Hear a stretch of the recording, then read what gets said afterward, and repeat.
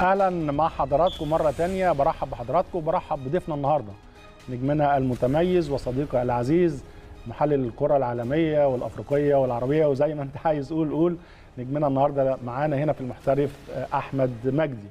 يا أبو حميد. ازيك يا كابتن؟ مساء الفل عليك. أخبارك إيه؟ منور أخبارك الدنيا إيه؟ عامل إيه؟ الله يكرمك يا كابتن. زي الفل. نورنا دايما يا أبو حميد وخليني أبدأ معاك بملف المنتخب المصري. آه، شفت إزاي ال- المباراتين اللي فاتوا امام غينيا والمباراة الأخيرة امام جنوب السودان؟ آه، تعليقك على التشكيلة تعليقك على شخصية روي فيتوريا سبع مباريات سبعة فوز. هل وصل لك انطباع ان إحنا عندنا مدير فني للمنتخب آه، قادر على آه، تحقيق طموحات اللاعبين والجماهير ولا لسه الحكم ما نقدرش نحكم عليه بشكل كامل دلوقتي؟ يعني خلينا نفرق يا كابتن بين مستويين في في تصنيف فيتوريا. المستوى الأولاني بالنسبة لي اللي هو مستوى آه، تصنيفه ك- كسيستم وكاستراتيجي. الراجل ده ماشي باستراتيجية جيدة حتى الآن اللي هو في إدارة ملف المنتخب المصري وإدارة مسألة آه، التصنيف وإدارة المباريات الودية وإدارة الكلام ده كنا مفتقدين في حاجات. والراجل ده زي ما بيقولوا حط إيده في الشقة في الحتة دي من بدري. وما قلقش من حاجة. والتنسيق اللي حصل مع المنتخب الأولمبي تنسيق جيد. وكل دي حاجات تقدر تقول إن الراجل بياخد فيها فعلا خطوات إيجابية نتمنى إن يبقى ليها مردود في في في المستقبل المنظور. ولكن على المستوى الفني تظل بعض ال ال ال ال ال ال علامات الإنذار أو أجراس الإنذار بتدق بالذات على المستوى الدفاعي. يعني أنا بقول إن إحنا عندنا أزمة مش أزمة يعني خلينا خلينا ما نقولش أزمة خلينا نقول انه في آه، مؤشرات إن إن المنتخب بيعاني في المساحة اللي بين سواء رقم ستة وقلبين الدفاع أو بين قلبين الدفاع وبعض. الحتة دي فيها مشاكل. حتى الآن حتى مع وجود لما كان في البداية العناصر الأساسية موجودين وبيلعب بحجازي وعبد المنعم أو عبد المنعم والونش أو ايا كان المصاب فيهم ودلوقتي بوجود علي جبر كعنصر أساسي هو معتمد عليه سواء في غينيا أو في ماتش جنوب السودان في أزمة. الفرق بتعرف تهاجم عليك بشكل كبير. بالرغم خلي بالك إحنا آه بنتكلم على سبع سبع مباريات سبع فوز لكن المباراه تقدر تقول ال- ال level العالي كان أمام المنتخب البلجيكي ولكن معظم المباريات الثانية مع فرق مش هقول مستوى تاني ولكن مستويات آه، أقل من المنتخب المصري. إحنا لعبنا ملاوي رايح جاي لعبنا إثيوبيا في في مصر لعبنا غينيا. لعبنا غينيا هنا وهناك. أعتقد مظبوط. آه هنا وهناك. مش عارف هنا هنا كان مع فيتوريا أعتقد برضو. فما ما أفتكرش إن هو تلقى اختبارات هجومية قوية غير ماتش بلجيكا اللي, اللي نقدر نقول إنه فعلا كان يعني منتخب مصر كان ظاهر بشكل جيد وبتنظيم دفاعي وهجومي جيد جدا. ولكن لا ننسى برضو إن إحنا يعني دخلنا بلجيكا عندنا كتير وده خطر لما تلعب منتخبات أفريقية قدام في كأس أمم أفريقيا. وأنا فاكر الماتش ده كان اكرم توفيق عمل ماتش هايل جدا في ال في ال في ال back right وثنائي الدفاع اذا كان حجازي أو الونش كانوا عاملين ماتشات هايلة. ولكن خلينا نقول انه علشان ما نظلمش التجربة ال- الحكم المبكر على مؤشر فني واضح ونقول إن دي مشكلة كبيرة لا هي مش مشكلة كبيرة.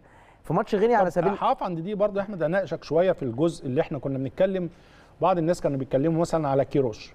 قال لك كيروش هو بيلعب بالطريقة المناسبة للمنتخب المصري من خلال إمكانياته إن الراجل بيدافع بشكل كويس بيهتم بال counter attack وبيستغل أي فرصة إنه يحرز وبيقفل المباراة. آه، عندنا شخصية مختلفة. عندنا روي فيتوريا بيلعب بطريقة هجومية واضح جدا الاندفاع الهجومي. عنده آه، عنده حتى على المستوى السي في بتاعه عنده مباريات كثيرة جدا جدا آه، بيطلع فيها كسبان و أو متعادل يعني نزعة هجومية كبيرة. البالانس ما بين دوت انت شايفه هيتحقق إزاي أو الخطورة فين؟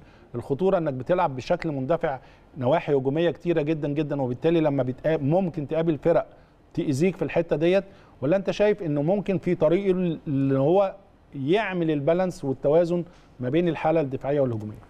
يعني أنا بشوف برضو يا كابتن زي ما أنت عارف طبعا لو عشان أحكم على سياق فني كامل لازم أشوف بطولة. مجمعة بطولة مجمعة كبيرة بلاعب فرق فيها أقوى مني وأقل مني وفي مستوايا فأشوف يعني الموضوع أعمق من كده ولكن اللي باين على فيتوريا إن هو عنده مزايا كويسة في استغلال الأجنحة مثلا تمام خلينا. نقول إن هو ما بيتعاملش زي كيرو يعني زي كيروش مع مسألة صلاح وتريزيجيه الأجنحة إنه إنه ممكن يبني اللعب على الجناح بس انه ممكن حتى ال striker كان بينزل يدافع على على على منطقة جزائنا لا هو ما بيعملش ده. هو إحنا بنضغط دلوقتي متقدم على أي خصم. عملنا كده مع بلجيكا. حتى جول مصطفى محمد الأولاني في بلجيكا صحيح. ضغط على دي بروين قدام ال 18 فدي سمه مختلفة عن كيروش. آه، قصة القماشة وال- والموضوع ده بصراحة أنا شايف إن حاليا منتخب مصر عنده قماشة جيدة جدا جدا جدا. إن إحنا ان إحنا نعمل ال balance دوت. إحنا نقدر نلعب كورة كويسة نلعب دلوقتي. كرة هجومية كويسة. نقدر نلعب كورة هجومية كويسة. المنتخب اللي متشكل حاليا في 2023 اللي ممكن يكون بقى بعضه حصيلة صدف وبعضه حصيلة جيل كويس كان ممكن يستغل جيل من 92 ل 94 في الكرة المصرية. أنا بشوف الجيل ده كان ممكن يستغل استغلال أفضل من كده بكتير خصوصا إن في عناصر سافرت بدري واحترفت بدري كان ممكن يتم متابعة المتابعه معاهم بشكل ما. بشكل متقدم أكتر. وحضرتك كنت يعني دربت الجيل ده تحديدا في في الأولمبيكس. اللي عايز أقوله إنه الجيل الحالي ما فيش أي ذريعة إن حد يقول إن القماشة وما إلى ذلك. عندنا حوالي ثلاث أو أربع قلوب دفاع كويسين جدا لعبوا على مستوى قاري مع أنديتهم سواء حجازي في اتحاد جده الأهلي محمد عبد المنعم محمد إبراهيم أو في الزمالك محمود الونش. عندنا وإن كانت الأطراف إلى حد ما مش على نفس جودة قلوب الدفاع بس إحنا عندنا خط نص متميز جدا. ودلوقتي بقى في عناصر مختلفة.